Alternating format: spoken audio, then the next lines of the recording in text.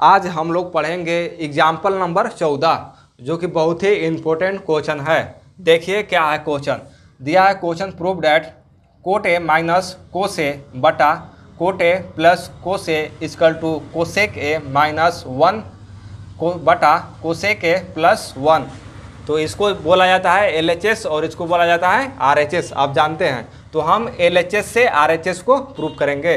तो सबसे पहले लिख लीजिए।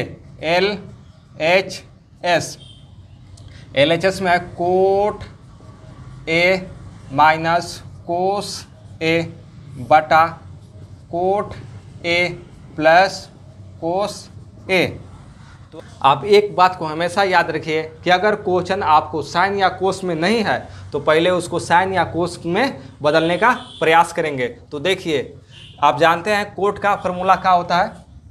कोट का फॉर्मूला है कोट थीटा का।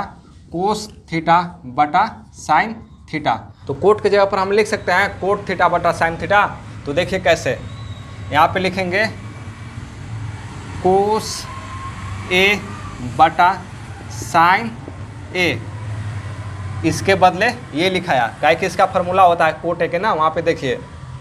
और माइनस ये कोस का कोस ए लिखेंगे, और बटे का बटे। अब ये देखिए, ये कोस का भी लिखाएगा कोस ए बटा साइन ए काय के फॉर्मूला होता है और ये प्लस का प्लस और ये कोस का कोस ए लिखाएगा। अब देखिए क्या करेंगे। दोनों में से कोस कोस कॉमन निकाल लेंगे। इसमें भी देखिए कोस है, यहाँ भी कोस है और इसमें भी कोस है और यहाँ भी कोस है। तो दोनों में से कोस कॉमन निकालेंगे। और जब कोस कॉमन निकालेंगे तो यहाँ पे हो जाएगा वन बटा साइन होगा। तो वन बटा साइन का क्या फॉर्मूला होता है? कोसेक होता है। इसलिए हम यहाँ पे कोस कॉमन निकाल लेंगे। यहाँ पे पहले कोस ए कॉमन निकालेंगे। तो ऊपर में देखिए क्या बचेगा? वन बटा साइन ए बचेगा और माइनस, और ये कोस निकल गया तो वन बचेगा। और फिर नीचे, इसमें भी इसे कोस कॉमन निकालेंगे कोस इसमें भी निकालेंगे।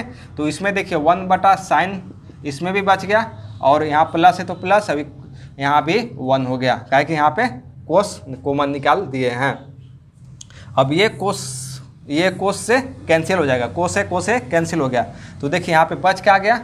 वन बटा साइन ए और फिर माइनस बचा और बटा, अब नीचे भी वन बटा साइन ए और प्लस बचा। प्लस वन बचा ना? तब देखिए वन बटा साइन का फॉर्मूला क्या होता है। वन बटा साइन थीटा का फॉर्मूला होता है कोसेक थीटा याद रखिएगा तो वन बटा साइन का फॉर्मूला क्या हो जाएगा कोसेक थीटा, अब यहाँ माइनस है था माइनस वन लिख लीजिए। अब इसका भी हो जाएगा वन बटा साइन का फॉर्मूला क्या होता है? Cosec theta. Cosec theta theta की जगह पर हम क्या लिखेंगे? ए में है ना तो ए में ये लिखेंगे यहाँ पे ए अब यहाँ पे लिखेंगे ए कोसेक ए और प्लस वन तो देखिए आपका आ गया ना R H S R H S आ गया। इस प्रकार हम इसको प्रूव करेंगे ना। चलिए इसको उतार लीजिए जल्दी से।